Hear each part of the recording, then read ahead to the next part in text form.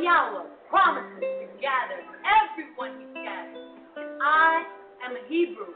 We are Hebrew.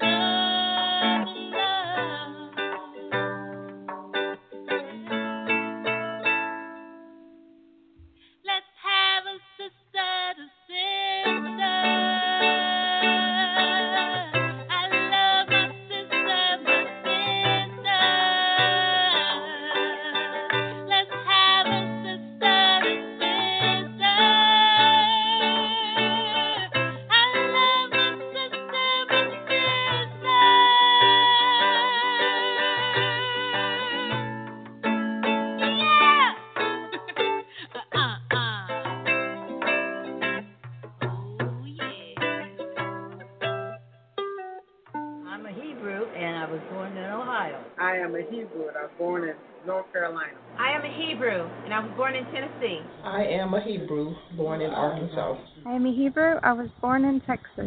I am a Hebrew, and I am from Florida. I'm a Hebrew, and I was born in California. I am a Hebrew, and I was born in San Diego, California. I'm a Hebrew. I was born in Indiana. I'm a chosen generation, a royal priesthood. I am a Hebrew, and I was born in Spain. 私はヘブルです。日本で生まれました。Soy hebrea. Nací en Puerto Rico. I am a Hebrew from West Africa, Liberia.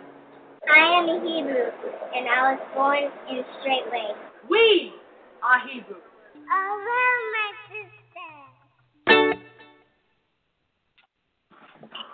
Shalom and greetings, hallelujah, to the women of the covenant. Bless each of you that are determined to run this race with patience, hallelujah. I pray that peace is upon you. I pray that obedience is in your members. Hallelujah. Thank you to every woman who listens and is willing to accept every truth and to be transformed by the renewing of your mind. I am your host tonight. I'm Ashley. I am a wife, a friend, a sister, and a community living saint. Hallelujah. I'm a mother.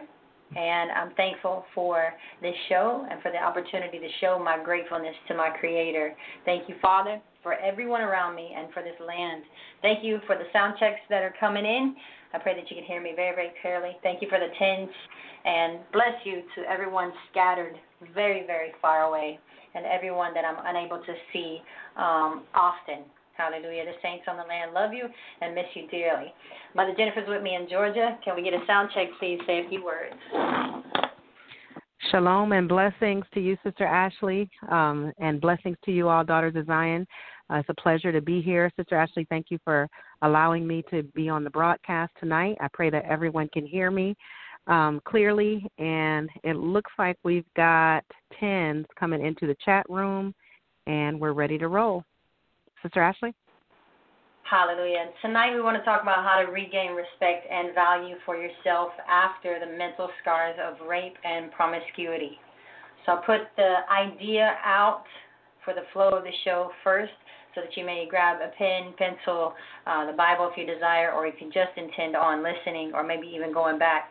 It's things that we'll say tonight that we've never said before, and it's time, hallelujah, to discuss it in this format. And I thank the Father for this uh, ability to reach each of you through our own testimonies. We have an email. I have a couple books in front of me. It's a lot of information to try to pack into a show. I pray that it flows. I pray that it's easily received and that you're able to uh, really, really gain from it. So I'd first like to acknowledge uh, my Creator um, for the mind of Christ that He allowed me to attain and reach and achieve and strive for. I'm very thankful for the renewing of my mind and for who I am today. I don't recall who I used to be at all, and I pray that each of you will also gain that same testimony.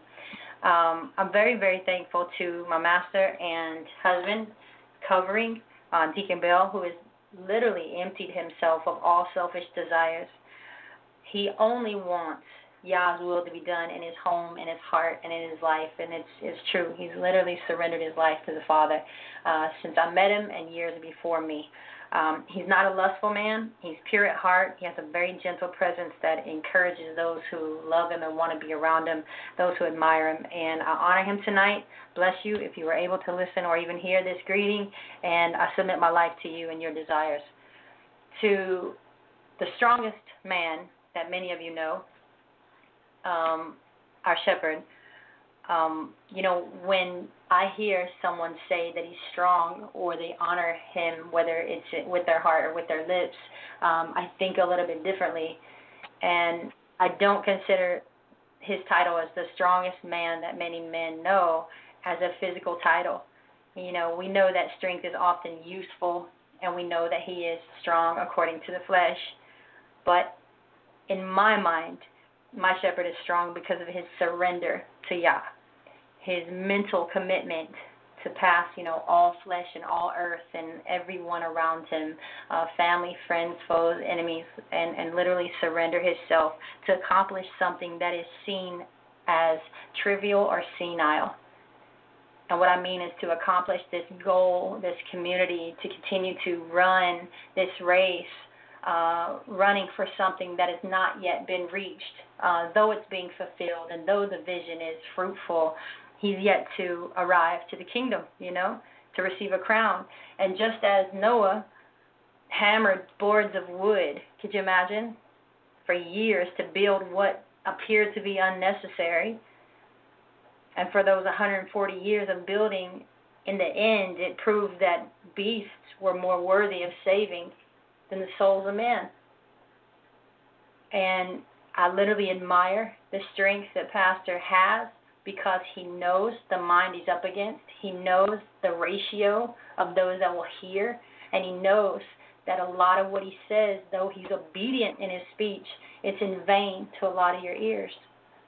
And I admire him for the strength to continue to press on and to, I have watched him uh, grow in a great magnitude. I bless his house each of his wives, his women, his family, even all of his children, no matter where they are. So here we are, Mother Jennifer, giving all honor to the Most High Yah, and so many um, names and thank yous, you know, from last week and from the feast. And I dare not take a lot of our time that's precious tonight, um, but I do want to thank again um, Clarksville and Esther and Rachel. They're of New York, Clarksville um, every community from South Carolina to Georgia to Goshen to Texas to those on the snack team. Thank you all. Uh, Sonia Crago, bless you. I saw you at the playground more than you were anywhere else, and you were a nanny, you know, a grandma, the, the feast, and I thank you for that. And whether I saw each of you or not, I thank you for your commitment and everything that y'all brought, everything you gave, and the spirit that you brought to the land. Bless uh, Brother Timu, all of his house, Thank you to Sakina for the class that she gave, to any of you or some of you who came. to the dessert team, Sister Lisa, and to my beloved sister Adele. I love you. And can't leave out there in Georgia, Mother Jennifer, Jaden, Malik, and then my my son, my spiritual son Carlisle as well. Um, bless you to Lions Den on Facebook and to our teacher Eric Robinson. Hallelujah. Um, please share your, your heart, Mother Jennifer. Hallelujah. Um, first and foremost, I want to just give honor and glory to the Most High Yah for um, His keeping us, His loving commitment towards us, um, the fact that He will never break covenant with us. Um, you know, I'm so grateful that He knows our thoughts, that He tests us and He tries us by um, understanding and discerning who we are by the things that we speak, not necessarily the things that come out of our mouths.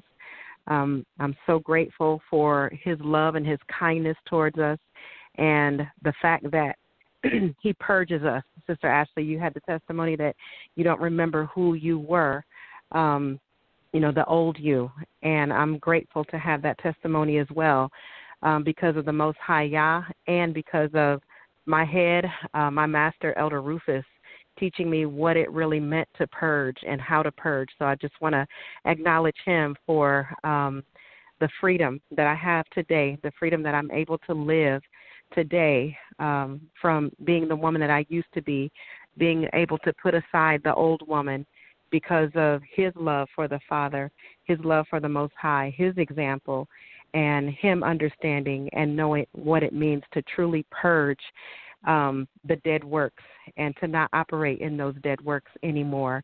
So I'm grateful uh, to Elder Rufus for providing for his family um, in so many ways and for ruling his house very well. And I want to acknowledge um, our shepherd, Pastor Dow, for continually loving us, giving us the the very stern but needed talks that we all need, and always giving us, uh, no matter who it's directed towards, it's always directed towards us. It's always directed towards me. Um, I'm never pointing the finger at somebody else when we are receiving love, uh, when we're being chastened. I'm always thinking of myself. And so I'm so grateful to Pastor Dow for truly loving Yah's sheep and for being a Jeremiah 3:15 pastor. So blessings to you, Pastor Dow, and to your entire family.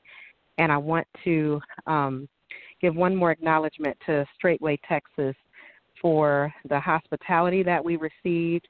Um, Elder Rufus's family last week when we went there, the bond and the love of the sisters, uh, the meekness of Sister Carell, and you know the leading of Brother Greg and just for, for hosting Elder Rufus's family and for sending our dear sister Bonnie off with so much love. Blessings to you, StraitWay, Texas. We love you so much. And that's all I have, Sister Ashley.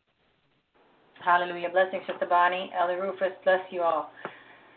So, uh, just a quick note from our sister Charmaine, who volunteered and was willing years ago to begin her idea of what she calls Judah's Closet, and it really pays off. I think she had a successful year. I'll read this letter to you.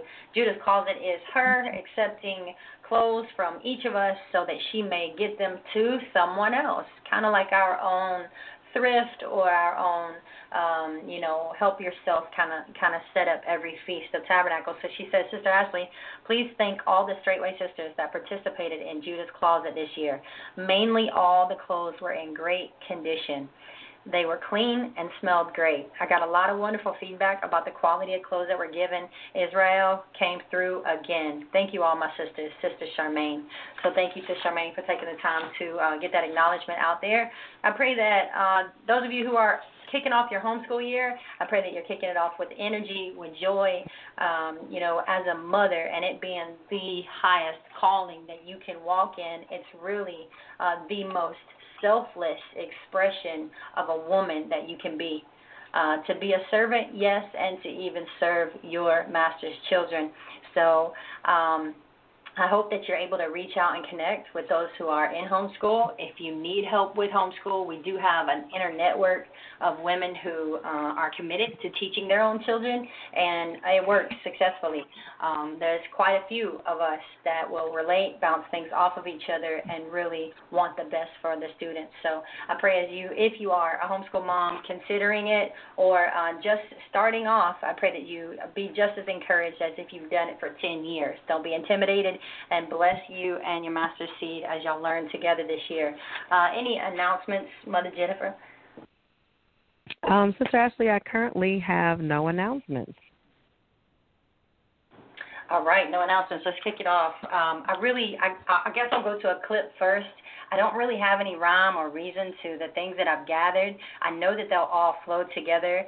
Um, this is some things that you know I haven't even bounced off of Mother Jennifer yet. I like to reserve things from her anyway, so that she will be um, just really whatever comes to mind first. You know, be really directed, no premeditation, just really off the fly. And uh, so that's how we're going to go tonight. Like I said, we want um, we're going to bring up StraitWay Shabbat service last week, 10 17 2020.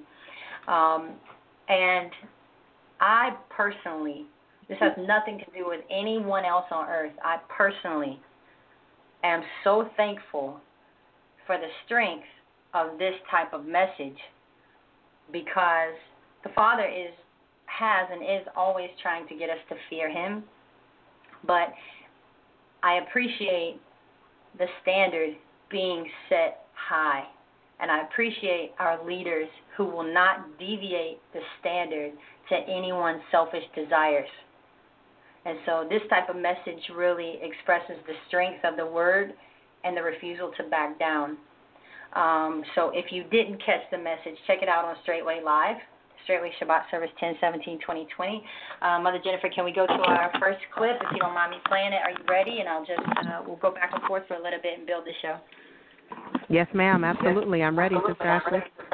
All right. As always, my brother Steve and, and brother Ugly uh, there in, in Canada and anyone else, give me some sound checks. Make sure you can, you know, communicate with Sister Sakina, who's faithful. She's here every week.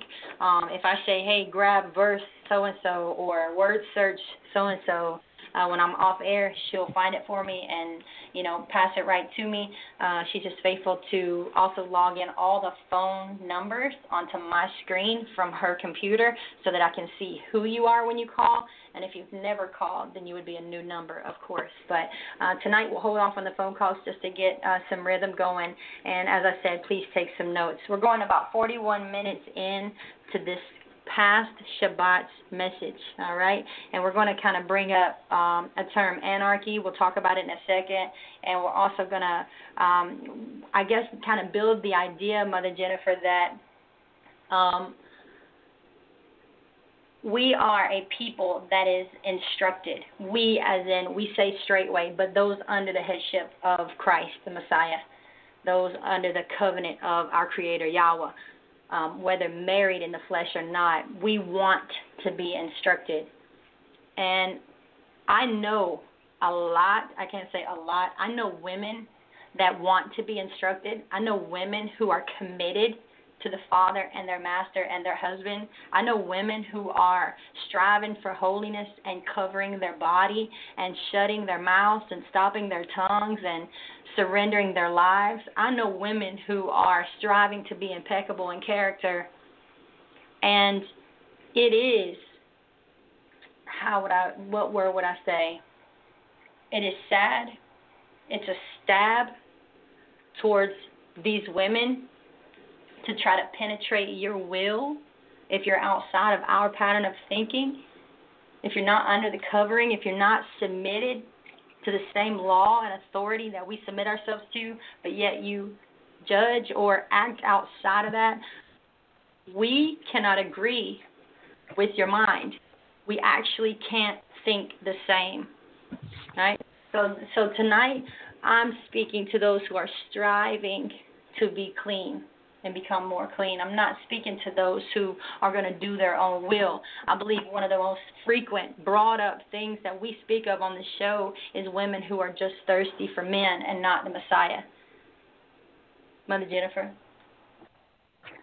Sister Ashley, it, it, it's very true, and we even um, mentioned it during the Mother's Talk that we had with Mother Carol during the feast.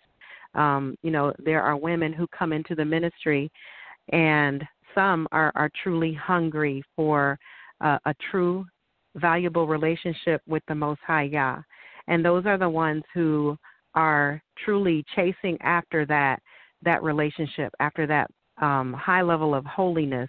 And those are the ones who know the Father's heart and they know his desires and they just want his desires. And those are the ones who are truly getting blessed because they're not thinking about anything else except for the will of Yah.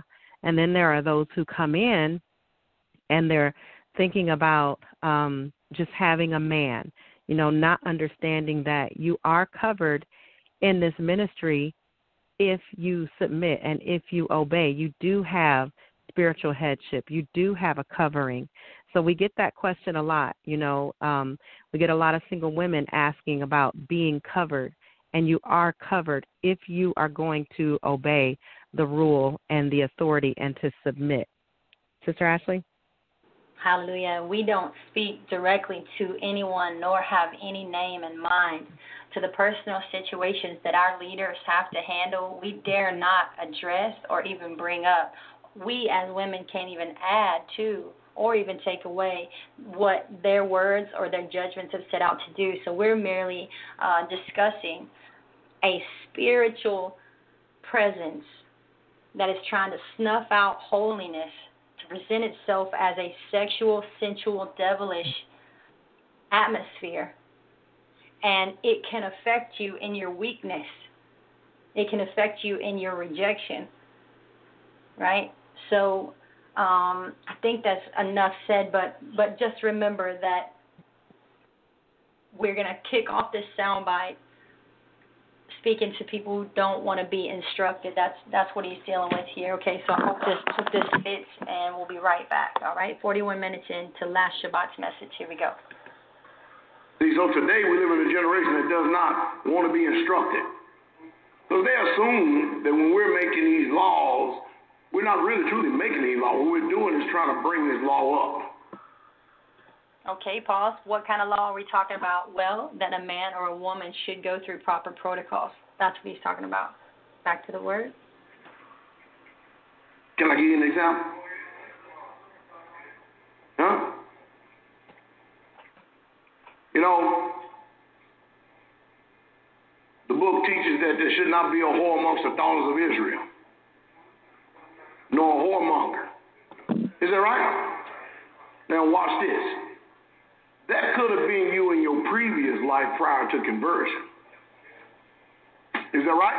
That could have been you in your previous life prior to conversion.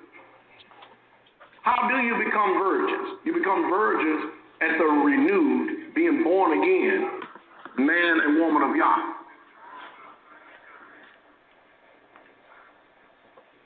The problem is, it's trying to keep people virgins.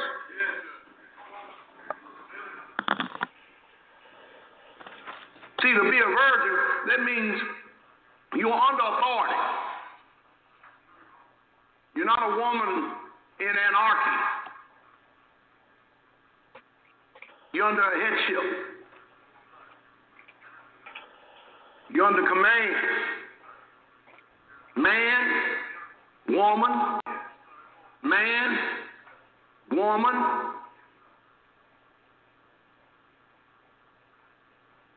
See, we ourselves, I'll probably visit this a little later on too. We can be in no more walking after our own mind and our own dictates and mandates as a woman can in this world.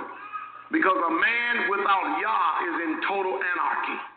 A man without Messiah, without the headship of Messiah, is in total anarchy. And a woman without proper headship and they're walking in under authorities in total anarchy against Yah. All right, so what does he mean? Anarchy is a state of disorder. I'm on Google. A state of disorder due to absence or non recognition of authority. All right, so a disorder due to the absence of authority. Right? Okay, so how do you, each of you, gain authority, no matter where you are? How do you get it? Who's in front of you? Who? Where do? I, where can I find it? Women say.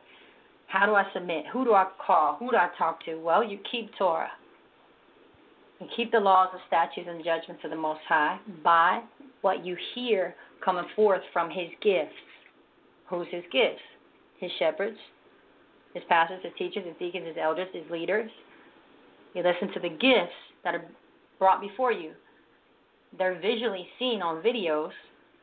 Submit your heart to them. You would be in consistent awareness of your body language.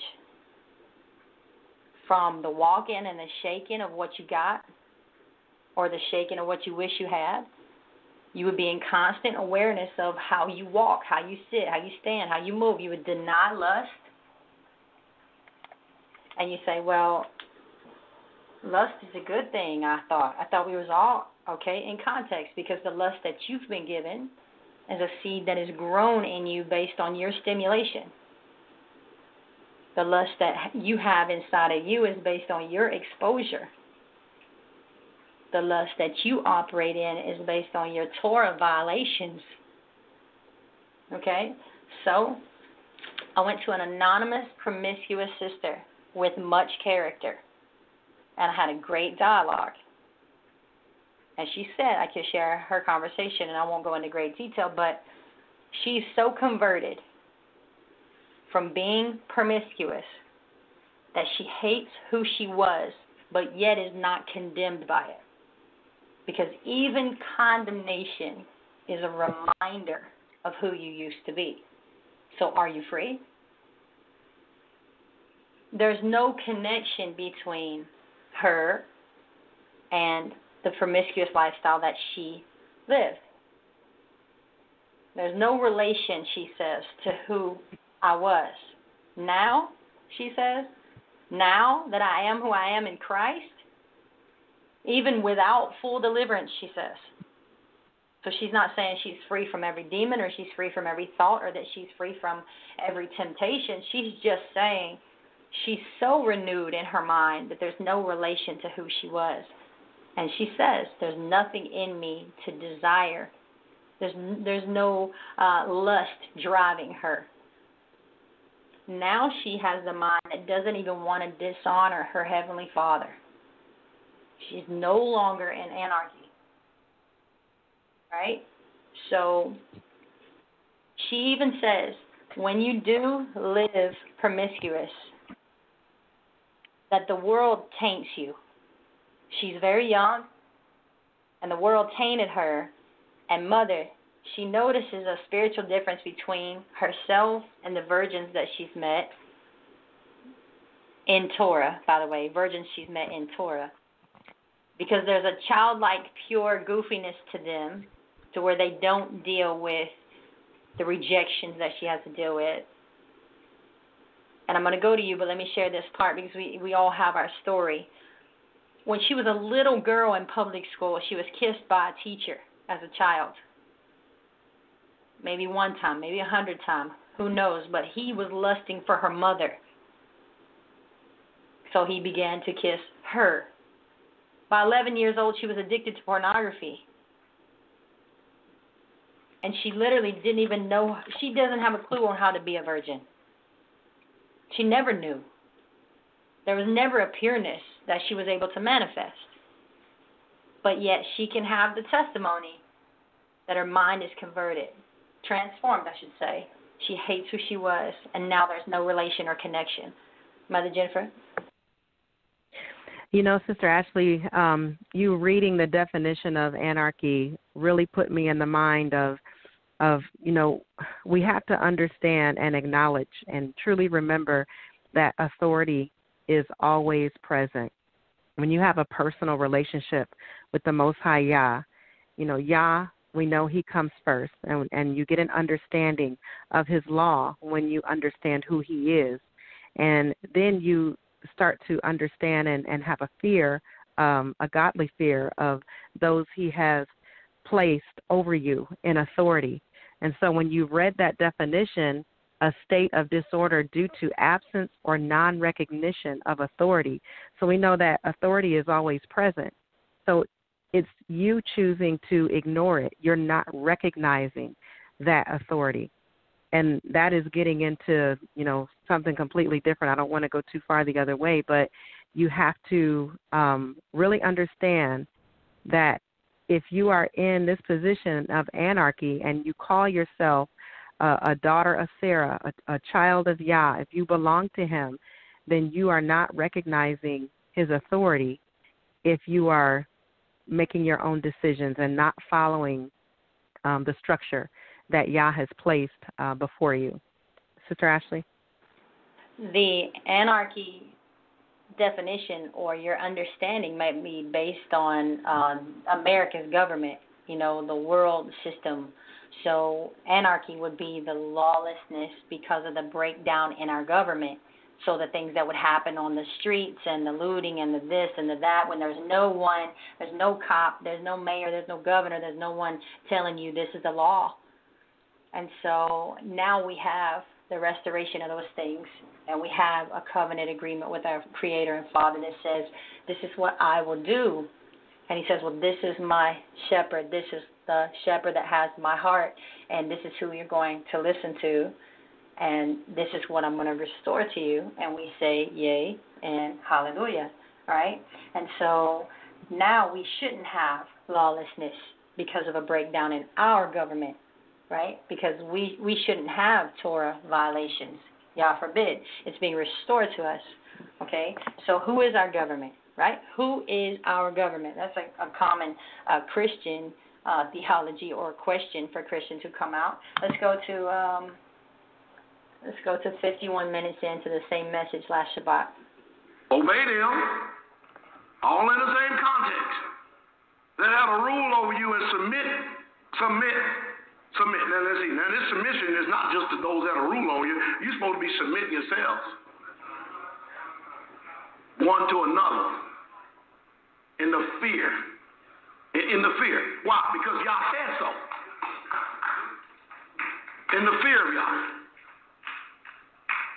For they watch for your souls that they just must give an account that they may do it with joy and not with grief. For it is unprofitable for you. Look at verse 18. Pray for us, for we trust we have a good conscience in all things, willing to live honestly. How much more honest could you live if I was just as jacked up as some of you are?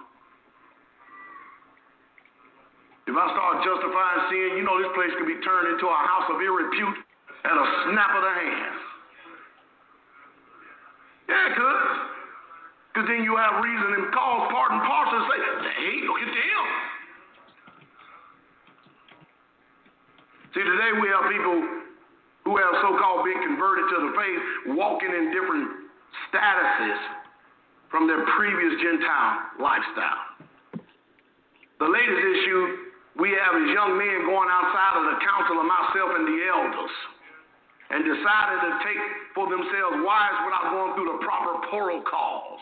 You know. The... All right, Mother Jennifer, I'll go to you. You know, Sister Ashley, um, I think about uh, Second Peter one, and I believe Pastor went over this on Sabbath. And you know, it talks about um, giving all diligence, you know, and adding to our faith virtue, and to virtue knowledge, and to knowledge temperance, and to temperance patience, and to patience godliness, and to godliness brotherly kindness, and to brotherly kindness charity. And if you really slow down, really slow down and and really understand what this is saying and you look a little bit further, it says that he that lacketh these things is blind and can't see afar off and he's forgotten that he was purged from his old sins. And in this message, Pastor mentions, um, you know, how we used to be in our, our previous life before coming to the faith, and how we get into this place where we're repeating the old, the things of the old, you know, forgetting that you were purged from these old sins, but we're missing the the diligence, you know, adding to our faith the virtue and to our virtue knowledge and you know, uh, temperance and patience and godliness and brotherly kindness and charity. But it really means a lot to go back and to look into these things and in private time truly ask the Father to help you to develop these things within you so that it can become a part of your character so that you can remember that you've been purged from the old you know that this is not you anymore at all. And it it even says if you do these things that you will never fall. And that is a promise in the book. We just have to really follow what it's telling us to do to even get to that point of never falling. Sister Ashley? And he asked a question, you know, just in paraphrase, like could could we still follow him or listen to him or you know give him our ear if he was acting out a character and doing some of the careless things that take place in our homes, in our hearts and lives? And the answer is no, absolutely not. Me, I'm speaking as a person. See, women that listen to us or tune in briefly or are brand new, they might believe that we're afraid to talk about certain things or discuss certain things. If Shepherd asked me in secret or openly, as he did this crowd, could I follow him if he was this, this, and this, and this? No, sir, no, Pastor. I could not if you were a glutton, if you were unstable, if you had a broken home, if you were an alcoholic or a molester, if you were careless or a smooth talker, a whoremonger, if you were given to lust, no shepherd, I couldn't follow. Because because he's not is how we can bear fruit. See, that's so pivotal in our understanding. Because he is not, we can have the vision to attain freedom to gain liberty, to gain strength. That's how we can talk the way we talk from freedom. All right, let's go to another um, another clip. We're going to about 54, 54 minutes into the same message. See, it's hard dealing with the people who want to do that which is right in their own eyes. So today we are going to visit this is some great details. Some think that we're just making up stuff as we go. And as we go, others follow us and our rule, laws, customs, traditions. We just make sure that our laws, customs, and traditions are not in opposition with Yah. We don't make laws like, well, you got to wash your hands before you eat.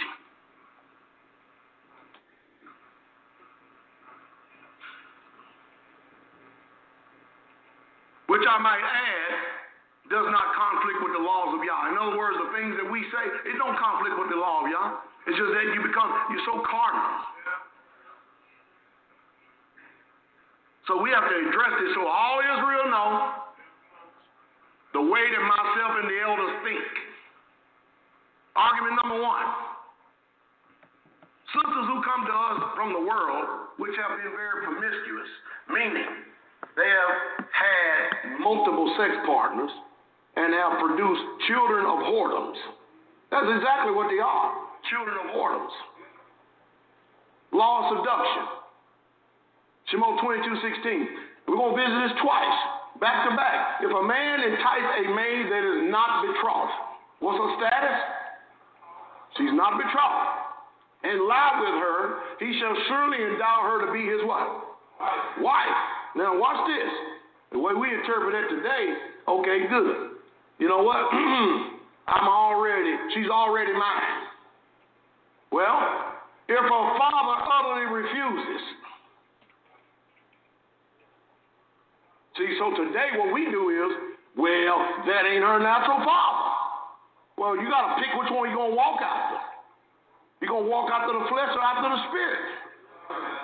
Because over here in the flesh, you had fathers and you disrespected and dishonored them and give a damn about what they said. And even though and your father probably could have been jacked up as hell.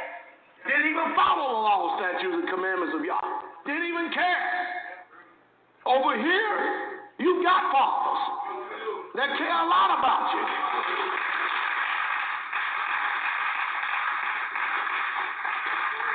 See, we want to pick and choose which way we going in this thing. See, right here, we just stick with his. Oh, she's my wife. But if her father refused to give it unto her, and look at it, says, if a man entices a maid, a maid, that's just a woman.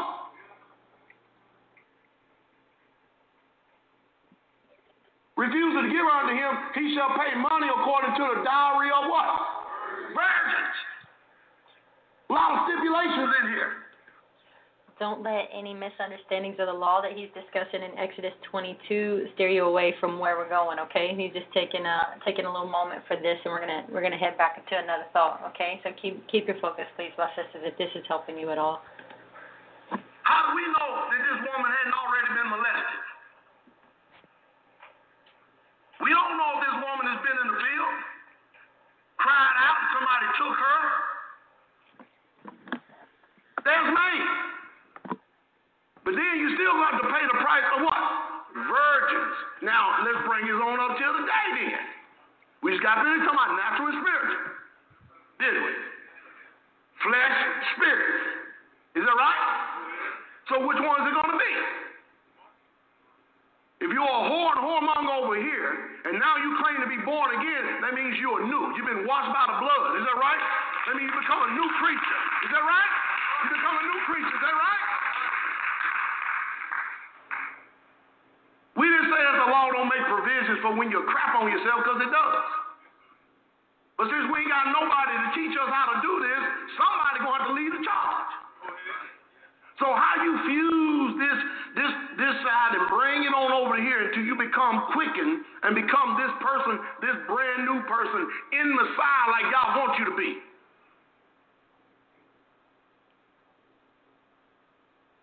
So then what we do, we get over here, we can still see the residue, we can still see the baggage of your previous of lifestyle, yet we don't view you that way.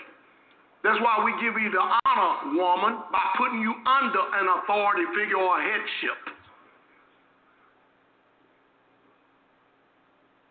Does that make any sense? Whereas before you didn't have no father, over here we're trying to give you a father. All right, Mother Jennifer, explain how each of us have a father. Sister Ashley, we are, um, every single woman in this ministry is covered. Like Pastor talked about the authorities that have been um, put in place by the Most High Yah. So we have shepherds, we have elders, uh, we have deacons, we have those who just truly watch over us. But I think we forget that you know there there is a stipulation we have to obey.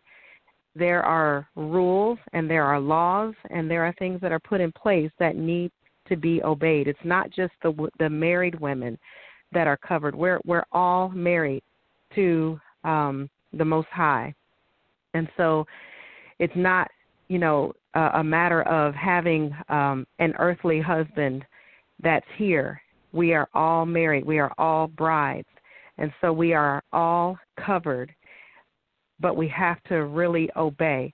And I, I wanted to go back to uh, when Pastor talked about um, early on, he said, you know, we have a presumption that we understand the law. So we're so presumptuous to think that we even have an understanding of the law. And before coming this way, none of us had a true understanding of the law at all. Um, and that's why we were delivered here. We were brought here uh, to be under the direction and the guidance of a Jeremiah 3:15 pastor, so that we could gain understanding. But if we think that we are um, understanding the law, then we're operating under presumption. You know, we're operating in our own self will and, and we operate in our own understanding. And I really like when Pastor talked about, you know, when you come in, that they can discern the baggage of your previous lifestyle, but they never view you that way. You're never treated that way. And it, it is it is so true. You're always seen for the freedom. You know, um, that can be obtained. You're always seen as a free person, but we just have to let go of the bondage of the past. People are already viewing you as free, but you have to view yourself as free as well. Sister Ashley? Right. And he called my child a child of whoredoms. How dare he? Right? You might say, you might have this sort of hearing when you hear our government speak to us, but when you hear those thoughts from inside of you, it isn't based on your repentant heart. You can't hear his love and you can't hear his truth because of your offense. And why are you offended? Because you've been in Torah violation and it's hardened you. And because Torah violation has hardened you, you've had to defend yourself. You've been outside of the covering of the government and you've been in anarchy. Torah violations uh, concerning sexual laws, of course, promiscuity is one of them. It's a result of exposure. So, promiscuity is an exposure to maybe even public school, maybe unlawful family members, maybe movies or videos. Something initiated you to be that way. It could have been molestation. But being promiscuous is a Torah violation. Rape is a Torah violation. Adultery, a willful act against the Torah. Incest, a willful act against the Torah. He just broke down the law of seduction or, or enticement, which is a man who would take uh, a maid or a woman away from her father and into his arms or into even another nation, another way of thought. I'm going to pull up this book here. Uh, can you grab the email that you're going to read tonight, Mother Jennifer, and we'll go there next. Um, so we, we read an example of a sister's thoughts, or I didn't read, I'm sorry, I just reiterated a conversation that I had with a previous promiscuous woman um, that shared her heart and her differences in who she is now with much freedom. Um, and then we'll also read an email from a rape victim who has also transformed her mind right? So we are uh, women who are, uh, let's say it like this, Mother Jennifer, let's take a moment before I go to this rape definition in, in this book I have.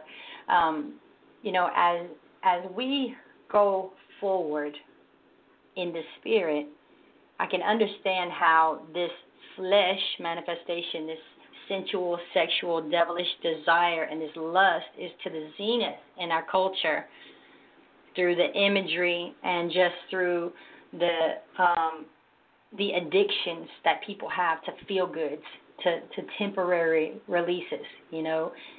Um, and so joining what the Father is trying to do to us with what the world is is the way it's going, it just makes sense that these things have to be brought out to the forefront. We come from a generation where everything was hush hush. Your mom didn't teach you how to clean yourself, and your mom didn't teach you about your your flowers your mom didn't teach you about your value because she didn't have any. And so now the father, you might say, in it's the foolishness of Yah to actually restore a woman to her value from a black man teaching and preaching polygyny that you believe is lust. And interesting that you would consider him being supportive of the devaluing of a woman by teaching polygyny. It's a big hang up. I understand. So you have this black man in front of us teaching polygyny, and you're saying he's justifying lust, but yet Yah's using the foolishness of preaching to free his people. So the proof of polygyny not being a Torah violation is in the innocence of this ministry and the fruit of this ministry, the healing. So, Mother Jennifer, how can such a seemingly lustful lifestyle be so healing? You know, Sister Ashley, when you truly gain understanding of Yah's ways and His law, you experience healing. You truly do and it's just like the enemy to uh, want to distort the the law of of Yah, and Torah is the thing that is going to set you free. Torah is the thing that is going to truly provide healing. That's why you know we're told, "Great peace have they which love Thy law, and nothing shall offend you." So when you can grasp the law, you can grasp Torah, then you can truly be set free and you don't have the offenses that you've had in the world in the world and you can truly learn what it means to be set free because you've gained you're starting to truly gain understanding of our culture you know how our culture um was created and and just everything the values and everything that our culture rests on when you gain understanding of that then you can truly be free sister ashley well said thank you so uh, I'm going to a quote here that I have a book. Uh, thank you to Sister Tanasa, uh, who had turned me on to this book's existence. Rape is an unjust and sick pattern of behavior. It is a behavior pattern reflective of very low levels of self respect and mental illness. Rape manifests very low levels of respect towards others. It is a horrendous violation of the selfhood of another. The most frequent form of rape is that in which a male aggressively and abusively imposes himself into a female with the threat of destruction. Often, someone considered physically weaker or vulnerable by someone who, at least superficially, looks upon himself as more powerful and capable of subduing, of subduing someone else. Now, here's a statistic before she goes to the email because we're going to an email of what the world would say a black female.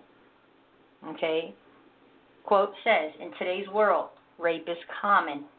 In the United States, it is reported in highest incidence among members of the black population, with black males raping black females. There is said to be approximately equal instance of white males raping black females as black males raping white females. That's interesting. I'm going to say it again. There's said to be approximately equal incidence of white males raping black females as there are black males raping white females. The incidence of white males raping white females is lowest. In past decades, white male rape of black females was the highest incidence ever. Okay, so what was the highest? White male rape of black females. Interesting. Let's go to a rape victim, if we can say that, in years earlier in her life. Now she's in Torah, and because I know her so personally, you would never know that she carried or ever carried these scars. This is a uh, a woman of great integrity. Go ahead, Mother Jennifer. Okay, she says at the tender young age of nine, I was molested by my 16 year old brother. Later in life, I dealt with rape as a freshman and junior in college. This left my mind in a state of passivity to deal with the attacks and a lack of understanding the true value of my being. As a young woman that was raised and reared actively in the Christian church with the father as a preacher, I was taught to cover everything up. There was so much that was not addressed in the church that I couldn't even define what a virgin was until I was no longer one. It had no value to me. The stigma of the world was that it was a problem or immaturity that a woman had to rid herself of. No one wanted to date a virgin. As I grew in my desire to have a true relationship with Yah, that I knew as God then, I knew that I was supposed to be with one man that I could marry and give all of myself to. My state of mind was that if I gave all to that man, he would love me and I would find value in that. I found my value in achieving all that was expected of me from everyone. I never wanted anything in return because that would leave me vulnerable to their judgment, and I couldn't handle that. I would give everyone counsel and felt the need to be strong to handle everyone's burdens. I was a serial monogamous because I didn't want to be classified as a whore because of what I had been through. If I had a list of expectations for a man, I made sure I matched those expectations so I would be desired by that type of man. I thought this made me a good catch. Being lustful in my mind was the farthest thing from my thoughts. I disconnected myself in intimacy, taking everything personally. To keep from being devalued, I would see it as a job instead of a beautiful event. Then I got married, and this mind frame became a great problem. I lacked vulnerability vulnerability in this area. I was unable to make the connection. In coming into the faith, I met some beautiful daughters of Zion that were virgins. They had the mindset of true submission and portrayed true honor and respect for the gift they had. I wanted that. I wanted to feel the value that had been stolen from me. I wanted that from my daughters. In order to get that, I had to purge all that wickedness that had fragmented my soul and created this broken vessel. I had to admit my shortcomings and filth and work to rid myself of it. I knew I was without excuse because my pastor, Pastor Dow, a true Jeremiah 3:15 pastor that took away all of my excuses on how to be made whole and be presented before my Yah as a chaste virgin with exceeding joy. So I was not going to allow anything to stop me from achieving that reconciliation. You see, it was not about me. I need to be the example that my daughters can follow, not just hear my words, but follow my actions. So I dug deep and put the work in. I let my love for Yah overcome my will. I believed His word, and He taught me the desires of my heart through the loving guidance of my husband.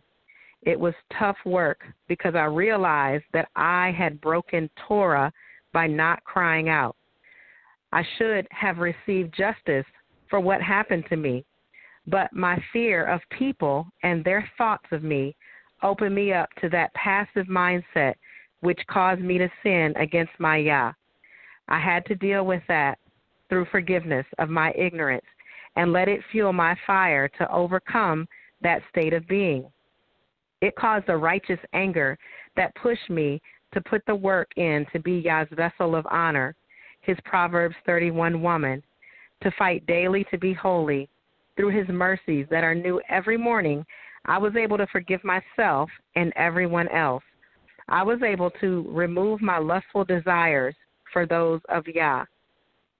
I chose life as I allowed the Holy Spirit to transform my mind to the mind, will, way, and the righteousness of Yah. I realized that it was greater than me. Then Yah showed me how valuable I am to Him, how to truly measure my value in the blessings that make my spirit rich and add no sorrow.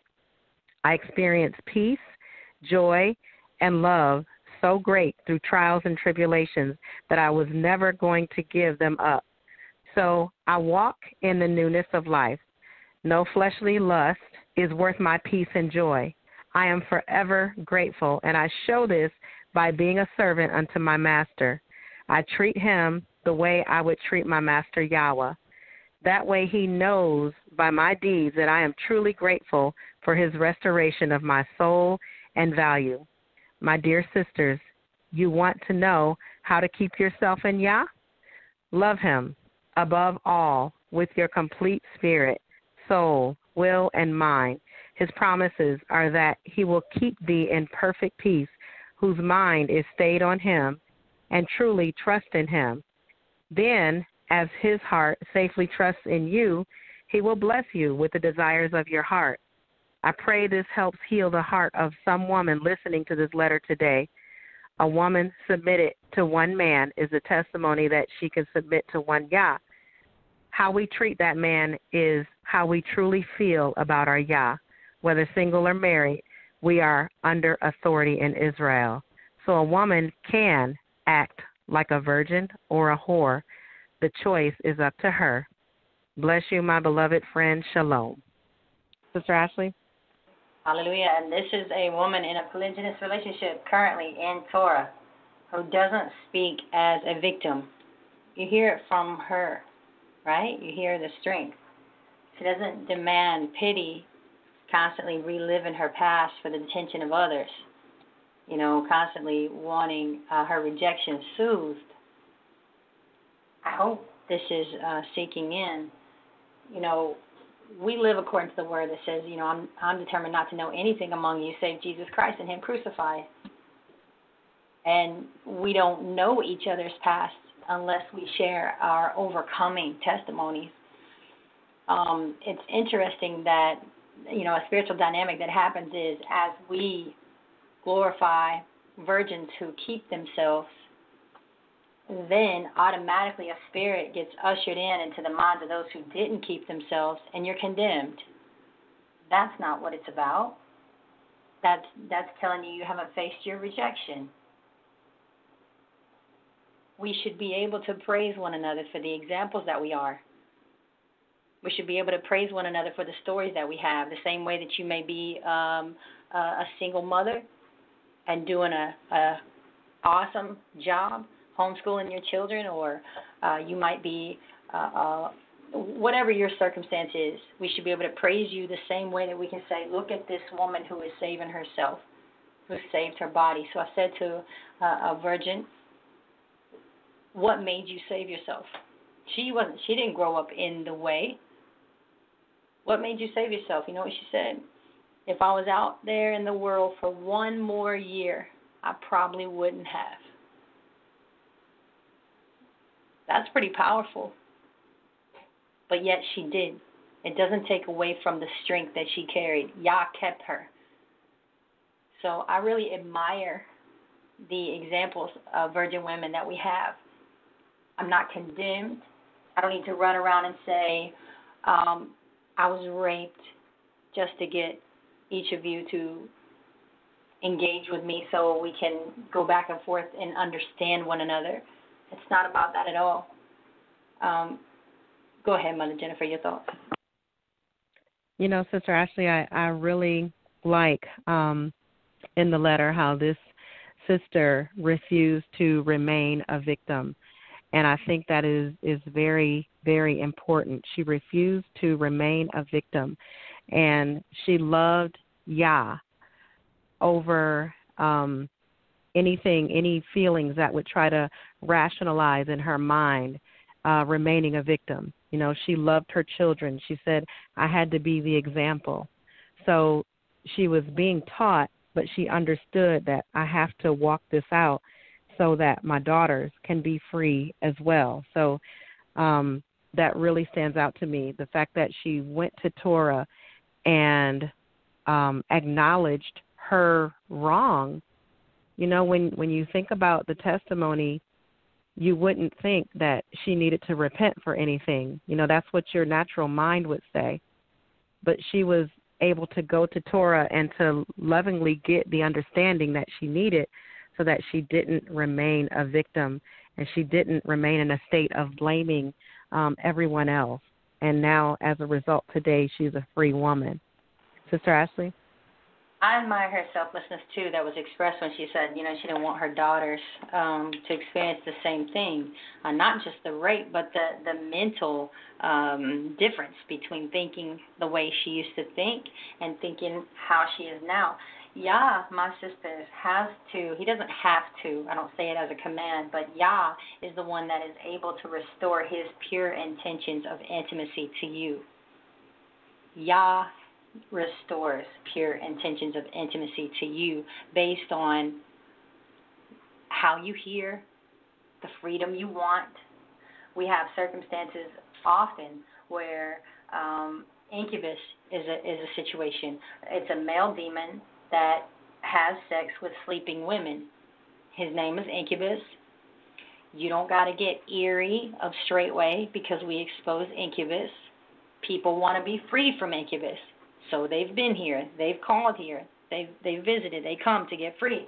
You can. I, I one of the first uh, when I really tried to dive into the spirit to try to help free those who are bound. One of the first testimonies I've mentioned before on the show was an actual virgin, 16 years old.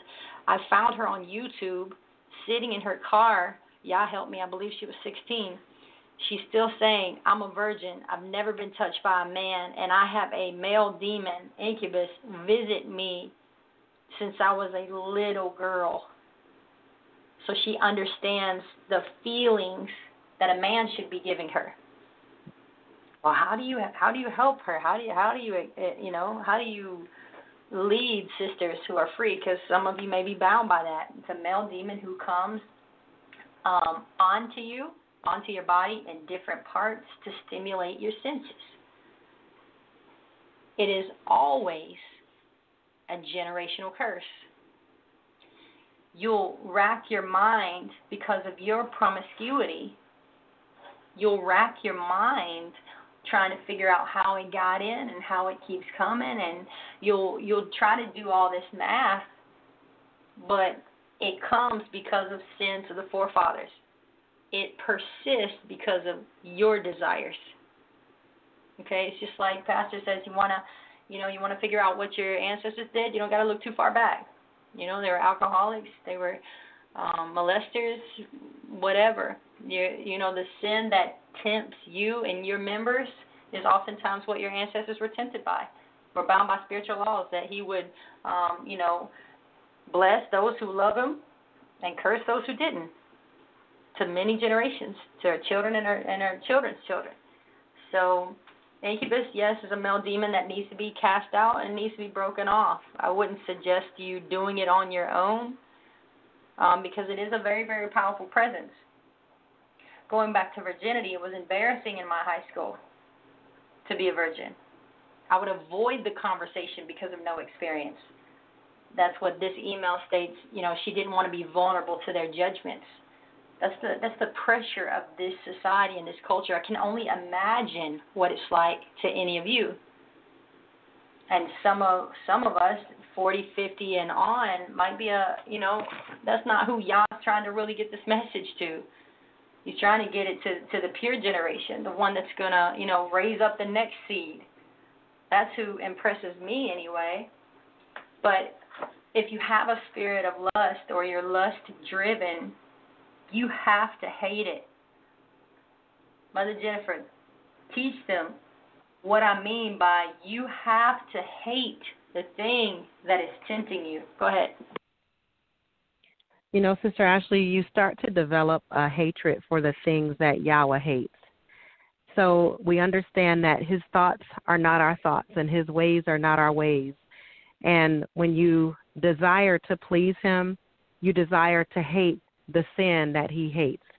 So things that we don't view as sin, when you start to develop a love for the Most High Yah, He will show you what sin is. Things that you have made excuses for in the past, you will start to see that these things are sin and these are things that that Yahweh hates. So you develop a hatred for that because you realize that it separates you from Him. And anything that brings separation, anything that brings division, is something that you hate and you actually stay away from. And Sister Ashley, you talked about um, you know deliverance, and I'm glad you brought that up. Uh, deliverance is very, very important if you're dealing with any of these things. Deliverance is so important, and repentance on behalf of those in your generational line. You know, you talked about um, sins of of your ancestors. You're going to have to look in your generational line, and you'll need to repent on behalf of those that are in that line. You can't just say, "Well, it's something that um, my uncle did, or it's something that my aunt did," and you you can't take a passive approach and think that you don't need to go before the Father and repent and get that right. You know, it has to stop with you. So um, deliverance, you know, when you're talking about deliverance, it is, is very important as women to be able to build trust with one another. And I believe a lot of times we become so uh, embarrassed and so ashamed and so um, non trusting of each other that we're afraid to go to each other for deliverance. And that is not the way that you're going to be set free. So, this is why it's so important to develop relationships together as women so that we can experience the freedom and the deliverance that will truly set us free. Sister Ashley? Hallelujah. Let's uh, stay on the word repentance for a moment because maybe your wheels are turning and you know it's necessary for you, but you know it can't be just the surface level repentance. Like, um, please forgive me for this, and you can dig deeper into what this is by determining your subconscious behavior and how it drives you. I mentioned earlier how you walk, right? How you walk different around men how you change your behavior in the presence of men. You have to pay attention to subconscious behavior. You get louder or friendlier in the presence of men. You laugh and smile only around men. And the spirit of lust manifests by tingling of your hands, tingling of your lips, tingling of your nose and your vagina.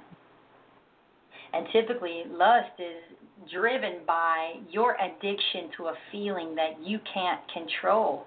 So you have to get control over the feeling that you're addicted to. For some, that addiction and that feeling is just for the climax, but for some, it's the band aid to cover your rejection. I want to feel this so that my rejection is suppressed a little longer. And with all these problems and mental behaviors that we have based on sexual exposure and stimulation, how can you understand Yah or his men in the mental state that you're in? And I don't say that in defeat or to lay a, a judgment. I'm saying you are scrambled in your mind to try to grasp what what how does Yah think and how he considers this and what's his way and what's his law and why all these questions that you may have you can't get answers without a repentant heart. Because without repentance there's a hardened surface on the exterior of your heart that just won't allow his truth to penetrate you so why do you burn only you would know here's an interesting um, correlation between slavery and sexual immorality. In this book that I have, it's actually um, kind of a higher read, so I'll take it slow and I'll try to explain because you know me being the one that has read it, I understand it in context. So I don't want to present something to your minds that you can't understand. So give me just a moment to read it first, my sisters, and I hope I can help you understand. And Mother Jennifer, I know you can. It says when slavery ended black women and men welcomed their newly acquired freedom to express sexuality. Okay, so remember, you take a people, you take them from who they are, you throw them in this culture, you rape them and you beat them, and then boom, when it's over, express your sexuality. So it says, like the early white colonizers, the masters, black folks were without any social order to govern or restrain their sexual behavior, so they indulged themselves. It must have been for a good feeling. Suddenly, they have the freedom to choose a sexual partner and to behave in whatever manner they desired. Some black women exercised their newfound sexual freedom by engaging freely in sexual relationships with many black men. Whites saw this sexual activity of female slaves as further evidence to support their claim that black women were just sexually loose and morally depraved. See, proverbs and bywords everywhere. What that's meaning is white people or white systematic um, spirits, whatever you want to say, saw black women as sexually loose and morally deprived because now they're functioning in a response to what has been done to them. It reads, they choose to ignore the fact that the great majority of black women and men attempted to adapt values and behavior patterns, but were controlled by whites. So it was a struggle everywhere you turn. It says during the years of black reconstruction, okay, black reconstruction just basically means, hey, slavery's over and now the blacks are on, if you even want to say somewhat of a rise, right? Still a, a, a hoax, but black Reconstruction is okay, black people were given freedom, so called freedom. It says black women struggled to change negative images of black womanhood that was perpetuated by whites, trying to dispel the myth that all black women were sexually loose. So, how did they try to dispel the myth that all black women were sexually loose, especially if they weren't, right? It says here they emulated the conduct and the mannerisms of white women. Here's another thought it says In the eyes of the white public, this is a woman's comment, she would never be seen as worthy of consideration or respect. In the eyes of the white public, she would never be seen as worthy of consideration or respect. This is the life we live in ingrained in the DNA of many of you and, and so prevalent at this time as well. But when you're considering repentance and when you're considering behavior that you don't even know where it derives from, it's just an interesting point. It's an interesting point for connection because you have to deny self hate. You have to deny self hate that even stems from white America that's still being perpetuated. How can you say, as a black woman, I want to rise and be loved and be valued when white America is still oppressing me? You have to do it in Yah. You have to do it through His obedience. You have to be restored. Do you hate yourself because of white imagery, white sorcery? Probably. Right? You do you have to forgive white man? Yes. Do you have to forgive black man? Yes. You gotta really back this thing up, Mother Jennifer. You're a melanated woman. Add to it, please. You know, Sister Ashley, there's so much, um, like you said, imagery. There, there's so much that's put out there subliminally to um, impose a, a hatred, a self hatred um, for not just for black women, but for women, period. There's so much trauma, so much rejection, so much bondage um, that has been experienced. And so when you're able to make your own decisions, as you, you know, people think that you're making your own decisions, when you're able to um, exercise that freedom, then you run with it just to receive any level of gratification just to be able to hide that trauma or that rejection or that bondage, that lack of freedom, not knowing that you're really putting more bondage into your heart um, than you think you are. So you think that you're really covering up um, or healing a wound, but, but it's, it's really not. You're wounding yourself even more because of all of these subliminal things that are put out there for women to to to just hate themselves. Sister Ashley? Very good. These are good points to think on, my sisters, especially to the level that I know y'all can free you. Satan hates his truth. To the level that I know y'all can heal you because I'm free and I'm healed, I know he hates his truth. Don't let nothing keep you from hearing. This woman that wrote this book says a colored woman's virtue in this part of the country has no protection. So a colored woman's virtue, okay, cover up for what? You're still going to be taken around the corner. You're still going to be called all kinds of names. Black women were often coerced into sexual liaisons with white employer, employees, right, who would threaten to fire them unless they did the sexual demands. So these are things to consider. Are white people considered dirty? No, unless what? Unless she's a white woman laying with a black man in this country and that's that's the life we live in. And maybe depending on where you're from your circumstance might be different. Maybe maybe you don't have this exposure. I do right?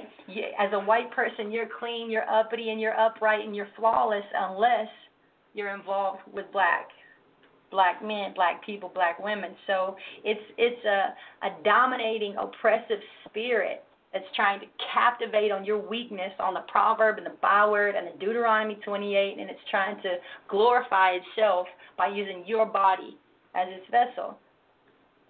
It's disgusting. So white women would rather their white man in this day that I read about here, white women would rather their white man lay with a three fifth human than a white friend. So that jacked up white women's minds jealous, envious, insecure, fearful? Mother? You know, Sister Ashley, even when you look at um when you look at the the behavior of women and there are so many women who are um acting out with masculine behaviors you know and it's it's really um so out of character for who we've create, been created to be and you mentioned you know not covering your body not covering yourself up and everything that the devil has really put out there is so opposite and contrary to the way that Yah intended it to be. If we really just dig into the word and see um, how Yah has outlined everything for us as women, you'll see that the world has taught us the complete opposite. And it, it really is a, a coping mechanism. If you have a, a woman that is acting out in a, a nature that is ma- masculine, it's a coping mechanism. You know, you're trying to cope um, for the rejection that you've experienced or the trauma that you've experienced of of being a woman. If you are showing your body off, you're coping. You're trying to cope. Is a, a coping mechanism to try to cover up rejection that you've experienced as a woman. So everything has a reason. There's a motive and an intent and a reason behind everything. And remember, we're going to be judged by the intent. So this is why it's so important to uncover um, and unmask the intent of why you do what you do, why you're in the position that you're in, so that you can truly be set free. Sister Ashley? Hallelujah. You are trying to cope with the lack of a father. That's the that's the premises for all of this. The lack of a father, the lack of a patriarch. That's why that you know that yes, this ministry is very male driven, but it's Yah's regimen. Yah's regimen is to restore the father into each home or the covering over the woman so that you would heal. Every one of us who didn't have a father or lost a father, etc., it was the beginning of a a tragic story. A tragic story. So you can't even restore the covenant to a people without the father in the house. I don't mean in your house as a woman that may have single children or or a woman who's not covered. I just mean within Israel, as we function as one body, one spirit, one mind. You must have the patriarch and the father.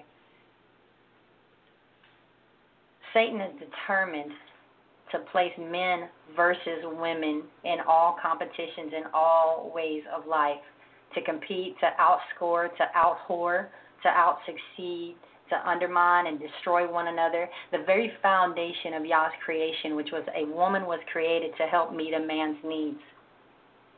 That's very far from the thought process in most of us because who is a father? What's his job? Huh? What's his role? He's supposed to correct huh? He's supposed to guide me, correct me, tell me tell me what to do.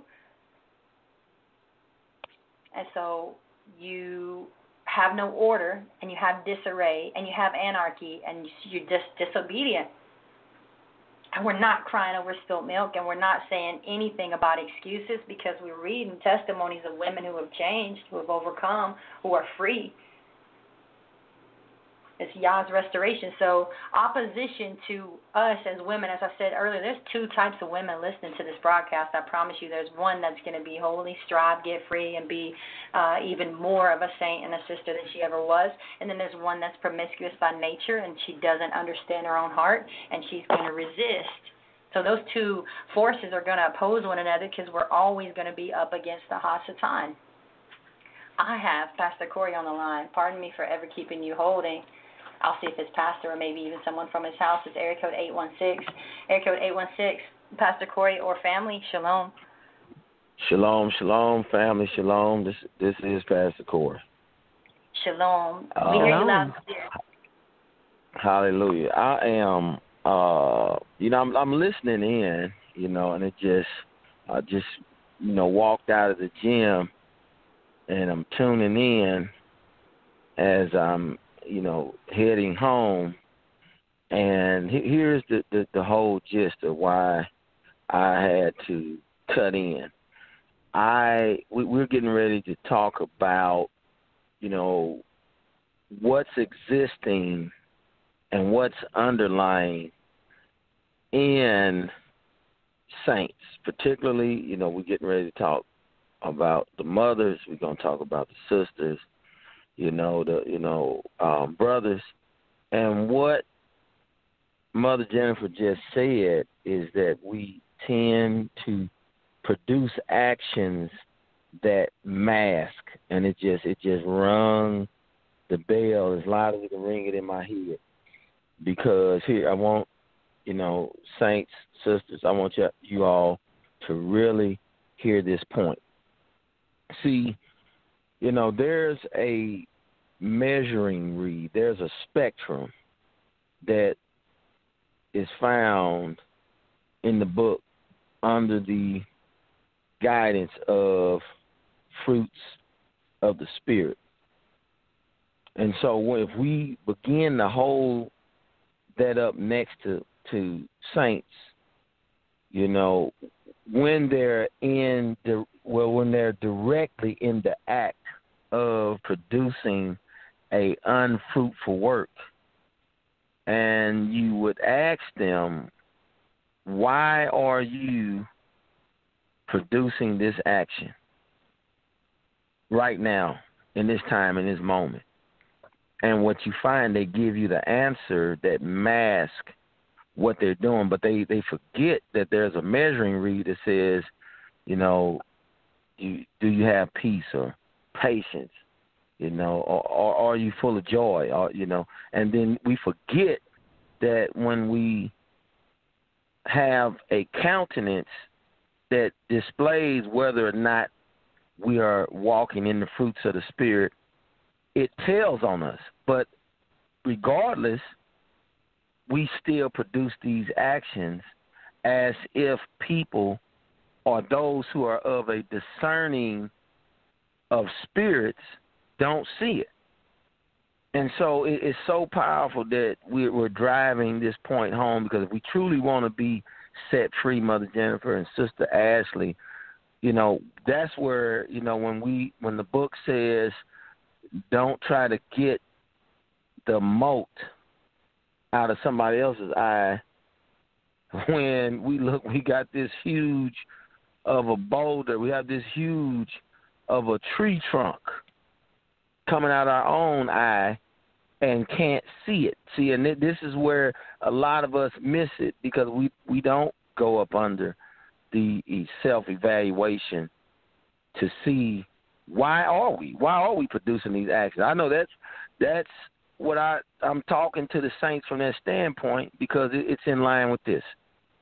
When I came to this ministry, I came knowing that I was jacked up. I, I came knowing that if this is a ministry that's following the Messiah, then there's deliverance from what's in me, causing me to continue to act and produce things the way I produce them. See, as a man, you know, in the world, there's many things that I mask so that I can cover up the hurt of not having a father, the hurt of not being taught things concerning manhood, you know, because see when you have people that grow up and you you make your own way, you grow up uh, you know in in the the neighborhood or in the hood, then many men that are without guidance are guiding them with the guidance that they made up, that they performed. So are there women who are not good mothers, who are who don't understand what it you know, if there was a such thing as being ladylike, then they, they, they didn't know how to be ladylike.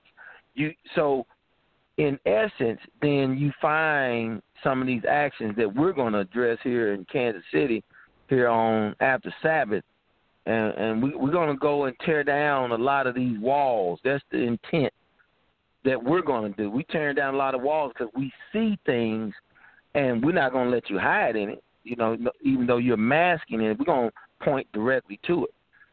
And so what you've done tonight and, and what this is doing, this is pointing directly to some of those things, especially when we talk when you said that we dress a certain way to mask being rejected or having rejection, and that that goes with many other actions. So I just wanted to come in and and just you know give Yah the glory that that type of wisdom is coming forth, so that we can continue to expose the the kingdom of of the, the you know what Satan is trying to do in causing us to produce evil actions that are that is not in line with striving to be set apart and holy. So bless you all well. I, I, I'm thankful for being able to just come in and, and, and you know come alongside that which you have said, Mother Jennifer and, and Sister Ashley. Bless you well. Hallelujah. Bless you. Bless you. Thank you so much for your call. Hallelujah. All right. Um, I have two clips from Pastor Corey. I was you was gonna hear his voice tonight, whether he called in or not. I too am very thankful for a dialogue like this because we uh, we deal with demons. You know, we don't suppress things. We're we're overcomers. We're victorious. The destruction of a female's value is an immediate result of Torah violation. Remember that. The destruction of a female's value is an immediate result of Torah violation. So I praise Yah for his restoration and his Torah. Now, opposition says if a man's will is done, Mother Jennifer, what he wants and how many he wants, and he's he's this, this, that, the other, because you've been so rejected and done wrong by men that you don't understand that it's attracting you to more of them. So if a man's will is done, then the woman says, Well, my voice is meaningless and my will is squashed and my pain increases and he can get over on me and he can get what he wants. But my sisters, with much sincerity, you can't view the men of this world around you and your job and your city and your family. You can't continue to watch them, mirror yourself after them, long for them, lust for them, um, you know, observe them, and even begin to grasp Yah's perfect family plan from a righteous man, which there is more than one in the ministry. Shepherd is out there taking the hit for all of us, but he's building men. Yah is building men through him. So um, I wanted to you know, if you have mental scars of rape and promiscuity, just lay it out there with Yah. You know, do do the checklist. You know, what what what do I what is my value? And if my value in him, as our email said, is my obedience to my master, then what is your value? Job says the price of wisdom is above rubies. So if you got some wisdom, that's above rubies. We got to start thinking like our Yah. Um, I wanted to read uh, a verse really quick. Mother Jennifer, do you have any thoughts? Go ahead. I wanted to say, Sister Ashley, that you know um, you brought up a really good point. Um, I remember Pastor teaching on this um, about women punishing men who are actually righteous because they've never properly dealt with men from their past. They've never dealt with the trauma of their past. So when you've never dealt with um, a traumatic experience that you've had with a man from the past, then you're going to punish a righteous man because you're going to see them all the same. And remember, everything starts with unforgiveness. You have to deal with unforgiveness first and foremost. Um, a lot of times people want to make deliverance out to be something that is extremely complicated. But if you start with deliverance or start with unforgiveness and deliverance, the Father will lead you um, as far as which way you need to go next. But you always have to start with unforgiveness. You can never skip past that at all. Sister Ashley? Very good. Forgive, forgive, forgive. Your character as a servant and a helpmeet will restore everything taken from you. And yes, you have to forgive. So sex is a job, this is all the this is the mindsets we're we're up against because the sensual, devilish, sexual culture that we're in. If sex is a job or a disgrace or it's disgusting or maybe to you it's a powerful expression of some kind of control that you have have over your husband because he needs you and you're so special to him or maybe it's an addiction to a feeling or or whatever it is to you. You you got to clean this up. you don't you don't have to because we're talking about it by any means. Most of the people who wouldn't clean it up already clicked off anyway. All right, so I'm going back to you know uh, I'm going to go to Sirach. This particular, I have two more sound uh, sound clips. Um, Pastor Corey, StraitWay Kansas City. Go subscribe, check him out. Um, it was streamed on March 15, 2020. Uh, our leaders deal with a lot of circumstances, uh, a lot of situations, you know, and and keep things with integrity, by the way, and don't expose things to the people purposely because it's not meant for us to change our behavior towards one another. We are to love one another and let them handle the matters. But he had read a couple of verses from Sirach, and he says, Do you have daughters? Be concerned for their chastity. Okay? The word tells him as a father, just using him for an example, but any man or any father, that if you have a daughter, be concerned for their chastity. What is chastity? It's deliberately refraining from having sex. Comes from a Latin word meaning morally pure. Be concerned for her purity, her moral purity, her sexual liberty. Be concerned. Okay, then it says, do not show yourself too indulgent with them, okay, as a daughter. So that's just from a man's perspective. They have their laws that they have to abide by. It says, give a daughter in marriage and you complete a great task but give her to a sensible man. Now, as a wife, you can't um, you can't relate to what a father feels or his protection that he has or his concern that he has. You we just can't. Okay, but that's the type of men that are leading us. So he is just coming off of reading those verses in Sirach, and I kind of wanted to move forward.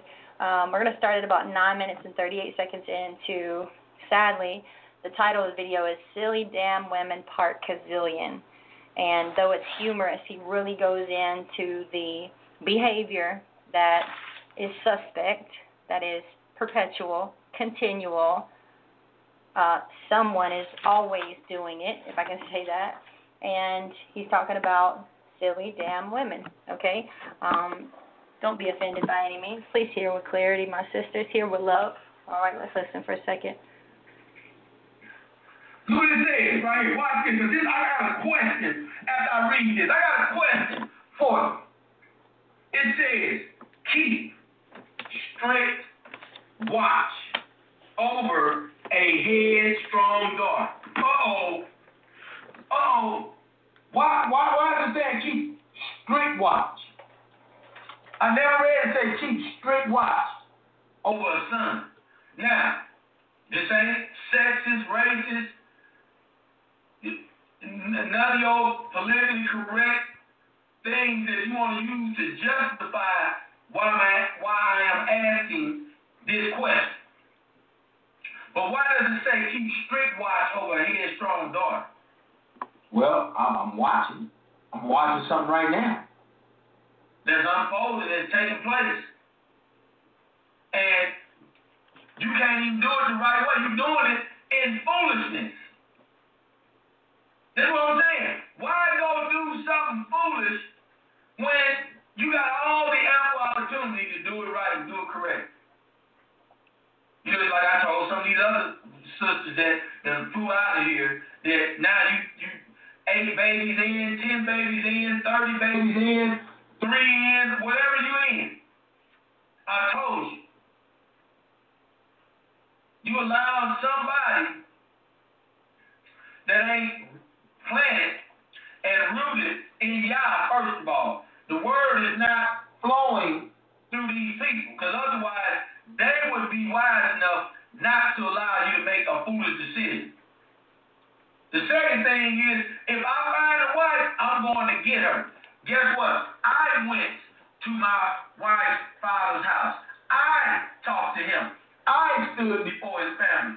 I went and got her. Just like Brother Kabir came here and got Sister Bree.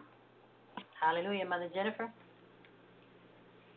You know, Sister Ashley, this is why it is so um, important as women to understand that we are covered.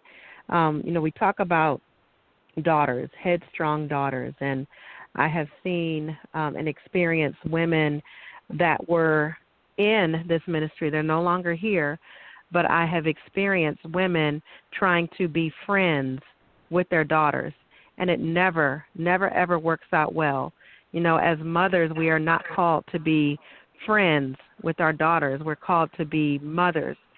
Um, your daughters are going to desire to have you as a parent. You can't be their friend. And so we lack understanding when it comes to um, the word, and which, this is so important. It's why we have to be taught so that we can know and understand that you cannot be a friend to your daughter. You can't joke and play, you know, just make light of things that are uh, rebellious within them. You have to really address it and you have to show them the way. And you have to make sure that you don't have rebellion in you, first and foremost, and that you're not expecting something out of them that you're not requiring of yourself. Sister Ashley? Hallelujah. Let me go back to this book for a moment. It says the significance of the rape of enslaved black women was not simply that it deliberately crushed their sexual in- integrity, but that it led to the devaluing of black womanhood and it permeated the psyche of all Americans. All right, so the enslaved black woman that was considered of little worth and of very little value, the proverb and the byword that she was, the the image that was created of her, of the fallen woman, the whore, the slut, the prostitute, etc., that still permeates America, it created, my sisters, it created sexist and racist dialogue. But then you have the purity of speech and the purity of restoration of law and government and Torah being restored to speak of these things, to address these circumstances, to say, stop perpetuating the thing that your people have walked in, and it's whites too, but then you want to say it's racist or sexist. That's what we get. That when we address the concern and come, our shepherd comes from the Word and the Bible, then we get accused of the very agenda that has created the issue, if that makes sense. So I hope that helps someone to understand. It's not us perpetuating this behavior. Not that we have to apologize. It says here the designation of all black women as sexually depraved and immoral and loose had its roots in the slave system. The devaluation of black womanhood occurred as a result of sexual exploitation of black women during slavery that is not altered in hundreds of years. What a sadness! And so, you as a woman, white or black, doesn't matter. We're not a we're not a race. We're not racist, nor does color an issue. But for circumstance or for topic tonight, why would you want to perpetuate the guilt of your people, the response of your people, mother? You know, Sister Ashley, I, I think about um, there was so much that was done um, back then in, in slavery to really divide and to destroy the order of the way that the Most High designed things to be uh, in the home. And uh, just one thing, if, if you think about the Willie Lynch letter, you know, that was to strip um, the trust that a woman was to have for her man and to give that trust to someone else, you know, as her authority. And the same thing is still happening today. So we are at the point where we are truly um, needing to restore the respect, the honor, and the trust for our men. You know, especially as melanated women, we have to really put ourselves back into the position of submission and to restore what has been lost. Sister Ashley? Right, as Pastor says, you cry out for fathers. You want a father. The word tells the father to be concerned for their daughter's chastity, and you don't want them to be concerned. You don't want the law. You don't want the government. Right? Not everyone. Just just for topic discussion. Let's go to. It's going to be out of Sirach 26. I'm going to play the the clip first and see if I uh, had Pastor Corey actually reading it, so I won't double up and read it first. All right, this is my last sound clip for tonight. I hope you have something in your notes that's going to take you uh, a little further into freedom with the Messiah. Here we go. See what the book saying. See, don't get mad at me. The book saying. See, let me read it again. Listen what it says. As a thirsty traveler opens his mouth and drinks from any, it don't matter, any water near him. So she was set in front of every tent peg. See, you didn't like I said but the book just said You'll sit in front of every tent peg and open her quiver to the arrow.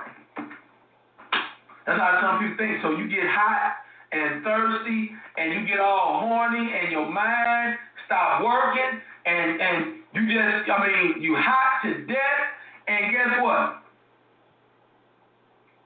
You just go you just go without seeking wise counsel, without instruction.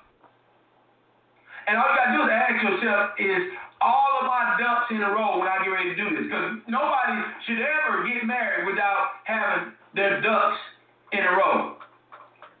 You don't want to say, you know what, he's cute and he talks good, but he lives in a cardboard box. That's stupid. That's stupid. That don't make sense. So, you know, we had and So, reason why we are doing this video, Saint, is Sister Bree. I, I had Brother Steve put it up on Facebook, Bree Perry. And I've told brothers about her that have inquired in times past that I don't know. You know, I'm talking to her to just All right, let me interject for a moment. This is a circumstance, a situation that happened long ago. It's not even worth rehashing or bringing back up. It's just a pattern. Okay, so you heard the name. It is what it is. It happened, and now he's about to describe how someone or a man or a brother might ask for someone as they did her, for example, wanting to cover her, and you're going to see how he responds. Okay, and he's been taught how to respond by our shepherd and he's watching and discerning. Okay, so what would a, what would our leaders or elders' response be for you to be covered? All right, that's something to think about. plant seeds before I even turn names over. And I would always say things to admonish just to see what type of reaction I would get. To see if this is going to be good to put my name on it to send it out. And so then you turn around and I've seen things where you don't appear to be all in. You don't appear to move to sound with it. So you got to make people wait. See, Pastor Dow always say that a new broom sweep good at first. And so in that same vein of wisdom, you know, I always tell people, look, we, we're going to do this. We're going to talk about this. And then I sit and wait. Then I do the same. I sit and wait and wait and wait and watch. Because I'm watching people right now. So I got saints here that I'm watching right now that I've watched you move outside of wisdom. You moved outside of wisdom. And so there's no way possible that you're going to understand how this thing works because you have this thing all the way backwards because your damn mind is caught up on the wrong thing. You're not tuned in to Yahshua HaMashiach because guess what? He said he's going to give, he gave gifts unto me. So you you don't understand what that is.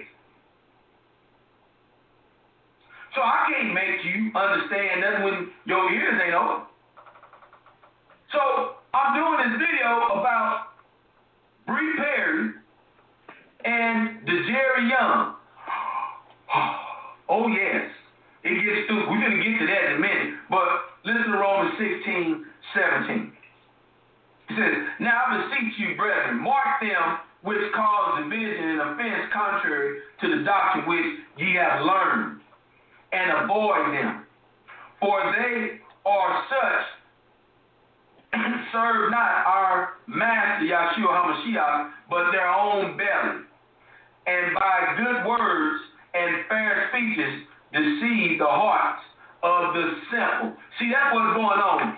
Good words and fair speeches deceive the hearts of the simple. And so I ain't the one that's going to be caught up in this, and I'm not going to let you all who are true saints go on without us going through this, this proper marking this morning. You got to mark so people understand. Because some people get caught up in emotion. Why people, why they leave? You, you want to know every reason why people leave, but when we try to guard you, you think we hiding something from you when we hiding a damn thing from you. just don't want you to have the ill will fall on your ears because you don't know how to handle it. Mother Jennifer. You know, Sister Ashley, I think about um, a, a conversation that Sister Chandra and I had, and and I remember her saying that um, before she um, was a covered woman, before she got married, she said, I, I never wanted to know who would be interested in me, who was interested in me at all. I didn't want to know. I wanted them to go directly to Pastor Dow and to Elder Rufus and I wanted them to take it from there. She never had a, a, a curious mind to know things that didn't even matter to her. And so that is a woman that truly is a woman under submission, under subjection. And I, I think about, you know, Pastor saying that, you know, revolt against authority is a pillar of feminism and witchcraft. And there's so many who refuse to have that mindset that Chandra had who are not under submission, who are not under authority. And it really brought it home when Pastor talked about that that revolt against authority is the pillar of feminism and witchcraft. And that is the very thing, the very pillar that needs to be torn down so that we can get back into um, our right order where we belong as women. Sister Ashley hallelujah, right order, where we belong as women. You produce value, my sisters. You produce it. If you want to be valuable, you produce. You don't sit and just wear a price tag. That's not how Israel works. And so, um, you know, the Messiah had a speech while he was on earth when he talked to the disciples in Matthew 10, and you know he was warning them of you know not peace, but a sword. Have no fear. Um, he that receives you receives me, and he's going on having this dialogue. Um, and he and he had a correlation between the sparrows and his men that he was talking to. So you have to check out the full story and context. But in Matthew 10:30, it says, "The very hairs of your head are numbered." You know, that's a very um, accepting and loving statement. The very ha- hairs of your head are numbered. You have to find value of self in this word by living it. It's not going to just uh, arrive to you. I, I tell women all the time, you are sovereign over your emotions. You are. Yah doesn't just swoop down and take one from you. Yes, He delivers you, but it's such a um, expectation and requirement from you you know so you want to do a checklist for value. And then you know as soon as we speak on something like this well ashley said do a checklist for value. So you sit down you do the checklist and it's empty and you're condemned you know or you're beating yourself up or you're you're hearing from rejected. No see the way yah sees you and see your value. Produce you know um, multiply it. Don't don't bury his talent. Increase his talent. And jesus was an example of severe hate, spite, accusation, hurt, everything imaginable. He was made weak, just like you as a rape victim, you as a molest, uh, molested child, you as a, um, not to bring his sacrifice down, I don't mean that, but my sisters, you've been brought to a low estate. You know, you've been greatly humbled. Um, whether you lay yourself out there and you're guilty, or you cried in the field, or you didn't, um, all these circumstances, you know, make uh, they damage you and they they leave scars on you. But um, our Messiah. Let's go to Second Corinthians 13. Let me see if this is in context. Okay, Second Corinthians chapter 13. I'm clicking on the Bible real quick. Though he was crucified through weakness, right? Pause there and think about his crucifixion and everything that he went through. Okay, in his body he was crucified through weakness, yet he lives by the power of Yah. For we also are weak in him, but we shall live with him by the power of Yah. So there's so much more that can be produced from you that can glorify Him so that you would have a testimony and a story to say, look what He's done. That's what it's about. It's about glorifying Him, not just setting you free, right? Um, but I want to end with these verses, Mother Jennifer, and then you can end the show. Sirach, chapter 26, verse 22 A prostitute is regarded as spittle, and a married woman as a tower of death to her lover. A godless wife is given as a portion to a lawless man, but a pious wife is given to the man who fears Yah. A shameless woman constantly acts disgracefully, but a modest daughter will even be embarrassed before her husband. A headstrong wife is regarded as a dog, but one who has a sense of shame will fear Yahweh. A wife honoring her husband will seem wise to all, but if she dishonors him in her pride, she will be known to all as ungodly. Happy is the husband of a good wife, for the number of his years will be doubled. A loud voiced and garrulous wife is like a trumpet sounding the charge, and every person like this lives in the anarchy of war. Mother Jennifer, in the show. And beside this, giving all diligence, add to your faith virtue, and to virtue knowledge, and to knowledge temperance, and to temperance patience, and to patience godliness, and to godliness brotherly kindness, and to brotherly kindness charity.